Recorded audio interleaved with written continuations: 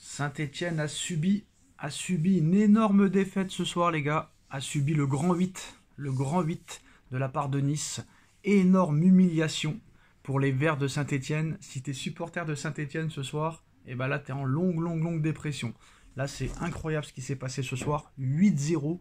Euh, franchement, on n'a pas vu de 8-0 depuis le PSG Dijon euh, en 2018, si je me souviens bien à l'époque de Neymar, Mbappé, Cavani et compagnie, mais là très clairement Saint-Etienne subit peut-être euh, la plus grosse défaite de son histoire. Après, il faudrait voir les archives, mais ce soir ce qui s'est passé, c'est complètement incroyable, énorme humiliation pour les Verts.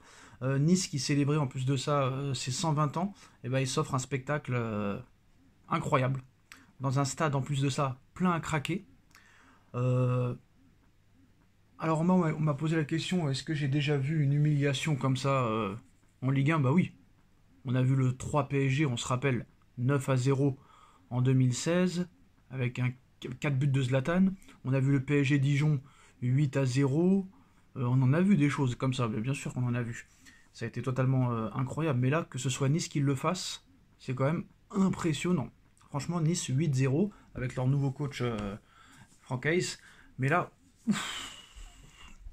alors d'accord, Saint-Etienne ils sont montés en Ligue 1, ils étaient en Ligue 2 l'année dernière, mais quand même prendre 8 à 0, il y a un moment donné, il y a quelque chose qui va pas. Alors est-ce que Saint-Etienne va aller en Ligue 2 Je sais pas, c'est pas mon problème, là on va parler quand même euh, du score, parce que c'est le score qui nous, qui nous impressionne ce soir.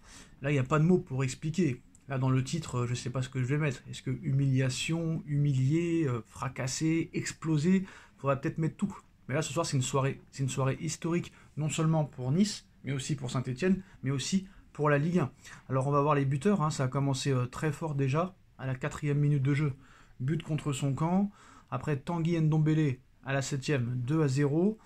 Euh, Chaud, 3-0 à la 24e. Moukoko à la 26e, 4-0.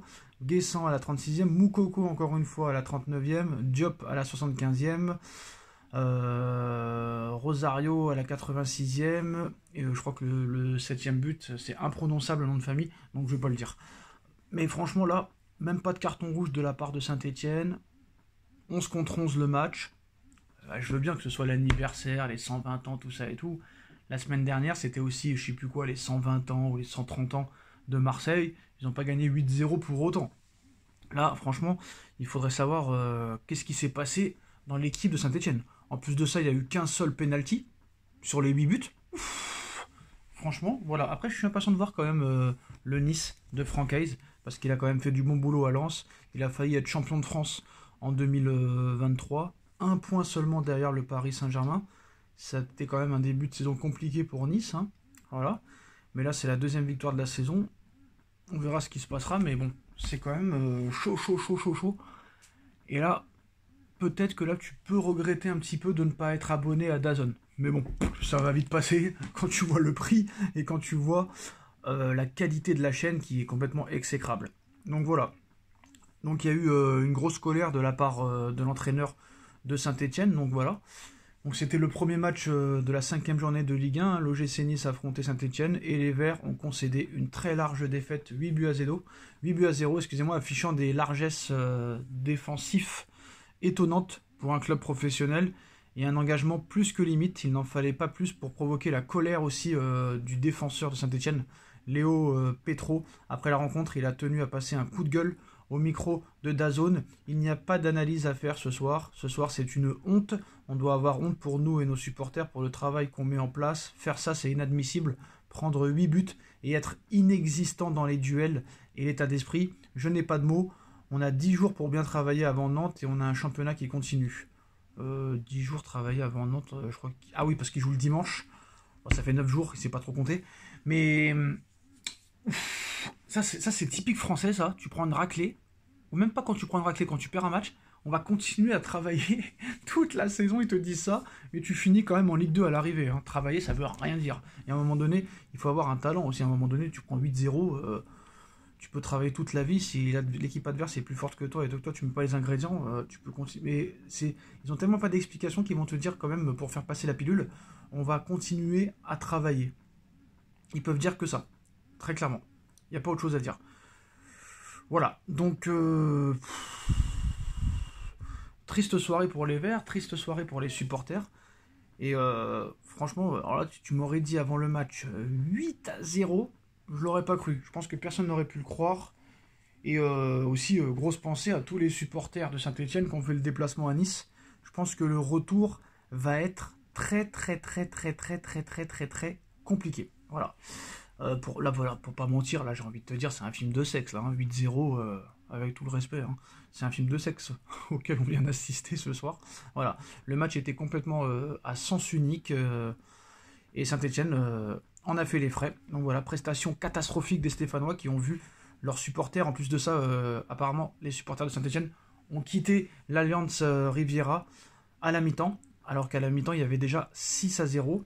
Nice fait un bon classement et s'installe euh, provisoirement à la cinquième place du championnat de France. Donc euh, voilà pour ce match euh, incroyable ce soir, spectaculaire, 8 buts à 0, très clairement. incroyable. Voilà, bref. On va parler aussi de l'information du jour. Hein. Comme vous le savez, Mason Greenwood a signé à l'Olympique de Marseille cet été pour 33 millions d'euros. Mais apparemment, la, la, traîtrise, c'est la mode cet été. Après Rabiot, parisien de toujours, qui a signé à Marseille, on apprend que Mason Greenwood, Marseille n'était pas son premier choix, et que Mason Greenwood voulait rejoindre le Paris Saint-Germain cet été, avant l'Olympique de Marseille. Malheureusement pour lui, Paris n'en voulait pas. voilà le problème. Alors Mason Greenwood était très ouvert à l'idée de venir au Paris Saint-Germain pendant le mercato d'été, le mercato estival. Néanmoins, le Paris Saint-Germain n'en voulait pas. Alors avant le match euh, de demain 21h contre Reims, euh, Luis Enrique a dit qu'il fallait euh, que le Paris Saint-Germain soit très fort demain pour empocher les 3 points. Il a dit que maintenant, après le match de Riron, il a compris que ça allait être très compliqué de se qualifier avec les journalistes qui en font encore beaucoup sur ce match contre Riron. Et qu'il a vu que déjà il y a eu des problématiques contre Giron. Alors Manchester City, le Bayern de Munich, Atlético Madrid et Arsenal, ça risque d'être aussi très compliqué. Donc deux trois mots pour qualifier le style de jeu euh, de l'équipe du PSG, bah, ambitieux, généreux, avec une grande capacité, on verra. Kang Lee est un joueur très spécial, intelligent, il est bon physiquement, techniquement, il peut évoluer à plusieurs postes. Je suis très content de l'avoir. Euh, Luis Enrique est compatible, je suis compatible avec tous les joueurs. Euh, avant de savoir quel recrutement on allait effectuer, j'avais dit que nous aurions une meilleure équipe. C'est une pensée positive que j'essaie de transmettre aux joueurs, au club. Oui, je pense que nous avons une meilleure équipe que l'année dernière. Regrettez-vous de ne pas avoir recruté davantage pour pallier les blessures? Il nous dit non. Donc voilà, les blessures font partie des aléas. Quand quelqu'un est blessé, nous souffrons tous. Donc euh, bah voilà, hein, très clairement, euh, il assume de ne pas recruter de recrues. Donc si jamais ça se passe mal cette année, ce sera de sa faute. Voilà les gars. Et euh, pour rappel, hein, Impressionnant ce match euh, Nice-Saint-Etienne. 8 buts à 0 pour Nice. Dites-nous en commentaire ce que vous en pensez. Et on se retrouve euh, demain pour le débrief PSG Reims, plutôt Reims PSG. Tchuss